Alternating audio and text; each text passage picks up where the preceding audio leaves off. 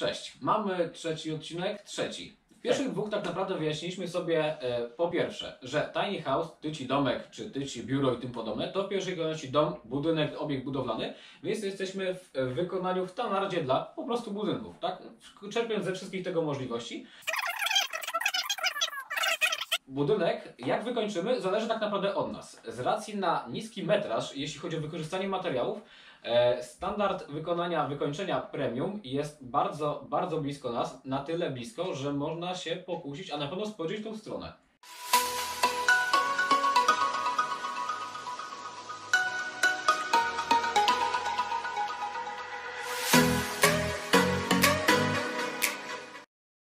Zważywszy, że metraż, y, tak jak Piotr wspomniał, jest na tyle komfortowy, że nasz jakby główny nurt, w którym chcemy się czuć komfortowo, nie jest niczym ograniczony z racji też na rozmiar, ale z drugiej strony na swobodę aranżacji wszelkich instalacji, między innymi inteligentnych i o tym się dowiesz w tym odcinku, co możemy w takim tiny house zastosować. Tak, zaraz przedstawię w punktach e, co, jak i dlaczego i dlaczego warto spojrzeć w stronę premium, jeśli chodzi o wykończenie, a już na pewno sobie nie żałować, bo e, po prostu to się opłaca. Czyli Piotrze, premium to nie tylko materiały, ale również funkcjonalność i udogodnienia. I za nimi stojąca najczęściej. Tak, tak, tak, tak. No oczywiście w pierwszej kolejności tutaj możemy powiedzieć o materiałach. W tym momencie jeszcze ich nie widać, y, tych docelowych, wykończeniowych, ale mamy pewność, że do tej pory użyte materiały, zarówno konstrukcyjne, jak i materiały ociepleniowe, czy też jeszcze inne pochodne materiały służące do łączeń tych elementów, y, są spójne ze sobą. Spójne tą ideą, która tutaj nie ma żadnych kompromisów, staramy się mieć ich jak najmniej,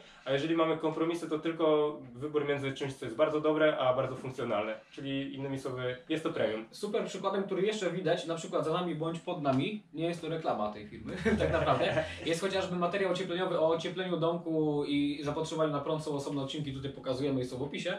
E, Jest chociażby wykonanie, wykończenie, e, wykonanie, wy- wykonanie termoizolacji z pianki PIR. Jest to materiał ociepleniowy chyba najbardziej premium, na pewno jeśli chodzi o cenę, zwłaszcza dziś, na stan na 2021 rok. E, Naj, najbardziej premium, najba, ma najciekawsze właściwości, najbardziej atrakcyjne. Z racji na niski metraż, niskie zapotrzebowanie ten materiał, e, nie wahaliśmy się zbyt długo z wykorzystaniem tego materiału. Zwłaszcza, że w konstrukcji szkieletowej jest mocno pożądany, tym bardziej, że obiekt jest mobilny i takie płyty, one będą zachowywały się w sposób taki ponadstandardowy, powodując, że konstrukcja jest stężona i z drugiej strony te parametry cały czas są wręcz topowe. Ale o tym odcinku stricte technicznym teraz skupmy się właśnie na premium. Po pierwsze, póki jeszcze widzimy tak naprawdę szkielet i ilość chociażby kabli, która jest podyktowana poniekąd tutaj zastosowaniem domu inteligentnego, bo czemu by nie? Jest tak mało punktów e, poboru prądu, punktów świetlnych czy włączników do gniazdek, jakichkolwiek urządzeń, że szkoda by nie było sięgnąć po rozwiązania inteligentne e, z racji chociażby niskiego kosztu wdrożenia nawet ty, tychże instalacji. E, nawet przez Tak. pryzmat samej długości kabli, tak? Już urządzenia same w sobie. Większość urządzeń już ma Wi-Fi, jakieś tam nawet pralka, żelazko i tak dalej, prawda? E, ale wiadomo, tak? Jeśli dom ma być w pełni inteligentny, to potrzebuje mieć troszeczkę rozciągniętych kabli. Zużyliśmy tutaj, zużyjemy kabli zwykłych z 200, nie więcej. To będzie ponad kilometr. Znaczy łącznie, łącznie będzie ponad kilometr, a Tak. zwykłych, zwykłych kabli, takich gniazdka, włączniki zużyliśmy 400 metrów łącznie, no tak te okolice. Kabli teletechnicznych około 200 tak naprawdę. W przypadku domu jednorodzinnego czy mieszkania wartości, te wartości byłyby co najmniej razy 10, jeśli chodzi o zapotrzebowanie, a to też kosztuje tak naprawdę na ten moment, jeśli chodzi o kable. Pod względem bezpieczeństwa tutaj nie podjęliśmy kompromisów kosztowych, tylko tak naprawdę, jak widać, ta ilość kabli jest na tyle spora i duża i to nie wynika z naszych fanaberii, czy celowego powiedzmy Trochę tutaj, tak. tutaj jak widzimy jest duża ilość kabli, ilość kabli wynika przede wszystkim z bezpieczeństwa, to jest też główny priorytet oprócz jakości i kable powodują, ich ilość powoduje, że czujemy się w domku bezpiecznie oraz w pełni funkcjonalnie, co też jest bardzo mocno pożądane przy jakości premium. Bezpieczeństwo to jedno, funkcjonalność to drugie. Możemy w tym momencie, no będziemy mogli, patrząc po stanie obecnym, sterować z aplikacji praktycznie wszystkim, e, a z racji, że z racji właśnie na niski metraż nie musieliśmy się ograniczać i jakoś długo zastanawiać przed wdrożeniem tego typu systemu, który jest kosztowny w momencie, kiedy jest na dużym obszarze, tak naprawdę skupia się na wielu punktach. Tutaj mamy wszystko pod ręką. Mm, To oczywiście w odcinkach o kablach, odcinkach o, o wodzie, e, odcinkach o zasilaniach energetycznych i tak dalej. E, Wszystkie po kolei w opisie i tam się wyświetlają w karcie na górze. E, I tak naprawdę tyle, jeśli chodzi o to, czego nie widać, czego już niedługo nie będzie widać, bo, bo zasłonimy to wszystko, co jest za nami, przed nami i wokół nas. To się zmienia aranżacji naszej. dokładnie. I tak naprawdę możemy przejść już do samego wykończenia. I tu znowu wychodzi metraż. Czyli metraż jest niewielki, to powoduje, że swoboda aranżacji jest o wiele wyższa niż w stosunku do dużych metraży, gdzie już bardziej kalkulujemy cenę z metra kwadratowego. Mhm. Wtedy kalkulatory budowla- budowlane są używane do granic możliwości, rozpalają się na czerwono. U nas rozpala się na czerwono kwestia wyobraźni, która na, tak naprawdę sprowadza się do tego, aby użyć materiały w pełni funkcjonalne, odporne.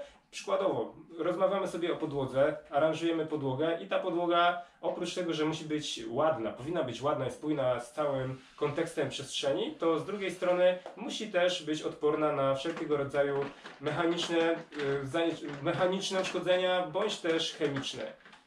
Ktoś może chcieć na przykład chodzić wyłącznie w butach po domku. Możemy wyjść temu naprzeciw, podłogą, instalując podłogą bardzo wysokiej jakości, e, której to nie będzie szkodzić po prostu. Jasne, ale tak naprawdę tutaj o jakości materiałów yy, nie będziemy tutaj zbyt wiele mówić, no bo jakość premium sama w sobie definiuje to, że te materiały są używane z najwyższej półki bądź z takiej, która pozwoli na komfortowe spędzenie czasu. W momencie, kiedy zbierzemy wszystko w jedną całość, czyli po pierwsze funkcjonalność i y, tak naprawdę niski koszt tej funkcjonalności w stosunku do właśnie metrażu, czy ilości punktów. E, po drugie materiały wykończeniowe. Po pierwsze wykorzystanie dobrych materiałów. Po drugie funkcjonalność e, typu sterowanie wszystkim z aplikacji, bo w dzisiejszych czasach wszystko się steruje z aplikacji, ale też na przykład nadzoruje czy otrzymuje powiadomienia, że ktoś się kręci wokół domku. I po trzecie, a dla myślę, że może i większości tak naprawdę po pierwsze, e, sam wygląd, sam, e, sama jakość produktu docelowego, tak czysto, czysto w dotyku, haptycznie, e, czy dla oczu, tak? Teraz tak, zauważmy jedną rzecz. Zobacz, jakość premium jest jakością bardzo pożądaną nie tylko dla podstawowego konsumenta, ale zauważmy, że każdy dobrze się czuje w otoczeniu, które jest dopasowane do jego potrzeb i zazwyczaj każdy z nas ma tak, że dobrze się czuje we wnętrzu, które, z którym się utożsamia. Projektując tiny house, akurat tutaj możemy zagwarantować, że ten aspekt projektowy trwał dosyć długo, ponieważ cała ergonomia, wszelkie rozwiązania, one są dedykowane poszczególnym, powiedzmy też, yy, rozwiązania w domku są bardzo też wielofunkcyjne. Tego wymaga tiny house, że z jednego, powiedzmy, elementu możemy zrobić na przykład drugi, trzeci, czwarty. I tutaj cała myśl architektoniczna jest już tutaj wykorzystana do granic możliwości. W takim tiny house y, tych elementów będzie naprawdę sporo. O tym też sobie porozmawiamy, pokażemy Wam już docelowo, jak taki domek wygląda. Ten odcinek tutaj się właśnie będzie Wam wyświetlał. Tu. Bardziej tak, tutaj po lewej stronie biodra, czyli Waszej prawej stronie, tak obracając się odbiciem lustrzanym y, do Ciebie. Tiny house, y, jego wnętrze i jego rozmieszczenie, rozplanowanie. Czyli przykładowo, jeżeli mamy w kuchni lodówkę, mamy zmywarkę, mamy też miejsce, do którego, w którym odkładamy produkty, jest stworzone w takim trójkącie ergonomicznym, gdzie jedną ręką otwierając lodówkę, z drugiej bierzemy sobie te rzeczy, z trzeciej oczywiście mamy dostęp do piekarnika i są takie trójkąty funkcjonalne we wnętrzu, które też jak najbardziej tworzyły taką kanwę kompozycyjną, taką oś poruszania się, przemieszczania się po tym domku, gdzie wiemy, że to też e, każdy metr w takim domku e, no, przepalony piechotą e, powoduje, że się czujemy mniej lub bardziej komfortowo. A nie musimy się ograniczyć, jeśli chodzi o jakość, bo wychodzi chociażby właśnie już trzeci raz wspomniana ilość materiałów, która jest konieczna do wykończenia. Robimy pod swoje dyktando, tak? Co nie zmienia faktu, że jeśli ktoś chciałby podejść nader oszczędnie do tematu, to również się odwdzięczy właśnie na przykład metraż, czy zapotrzebowanie tak naprawdę na wszystko, e, gdzie idąc w drugą stronę e, da się wykoń, wykończyć domek ultra na przykład tanio. Jeśli gdyby to był na przykład obiekt e, przeznaczony jako domek wypoczynkowy na zlecenie, tak na wynajem,